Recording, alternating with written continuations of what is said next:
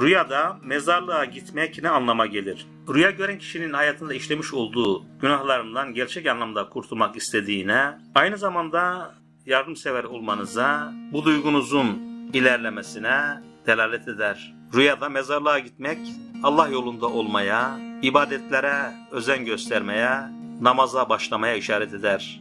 Rüyada ağlayıp dua ederek mezarlık ziyareti yapmak ise, rüya gören kişinin hayatının geri kalan kısmında yalnız kalmayacağınıza, aile boyu feraha ereceğinize delalet eder. Rüyada mezar başında dua eden kimseler için iş ve sosyal yaşantılarında acı ve kederden uzak duracaklarına, tüm işlerinin rast gideceğine işaret eder. Rüyada gece mezarlığa gitmek ise yeni ev ve iş hayatının başlangıcı anlamına gelir. Rüya gören insanın hayırlı işler yapacağının habercisidir. Gece mezarlığa gitmek günahlardan arınmaya, ibadetlerini yerine getirmeye delalet eder. Rüyada mezarın yanından geçmek ise yanlış ve kötü insanlarla olan arkadaşlardan kurtulmak gerektiğine, kurtulmaya, rüya sahibinin ahiretini düşünerek hareket etmesine, yardıma ihtiyaç olanlara yardım etmeye, dinin emirlerini yerine getirmeye işaret eder. Rüyada mezar içerisinde uyumak ise manevi anlamda huzur bulmaya delalet eder. Rüyada annenin mezarına gitmek ise haram ve günahlardan uzak durmaya delalet eder. Rüyada babanın mezarına gidip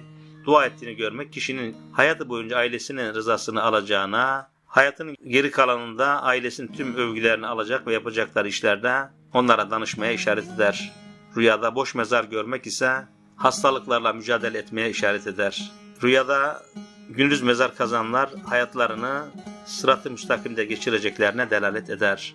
Rüyaların en doğru yorumunu Yüce Yaratıcı bilir. Hayırlı ve güzel rüyalar görmeniz dilek ve temennisiyle kanalımıza abone olup bildirimler açmayı ve dostlarınızla paylaşmayı unutmayınız.